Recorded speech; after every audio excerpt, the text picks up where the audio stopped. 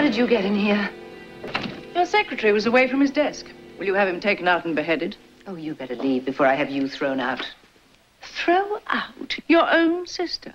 I told you, Cassie, I don't want to see you or have anything more to do with you. Oh, but I've missed you, Alexis. And we have so much to talk about. Now that I own that atrocious piece of fiction that you wrote, we have nothing to talk about. Yes, you may own my manuscript of Sister Dearest, but it's your piece of fiction I want to talk about, darling. Your testimony on the stand. You weren't with Blake the day of the fire. Really? And how would you know that? Because I've gone back in my diaries and checked the dates, darling. You were with me. We spent the entire day shopping in Chicago at Marshall Field. in fact, we didn't find out about the fire until we flew back to Denver that night.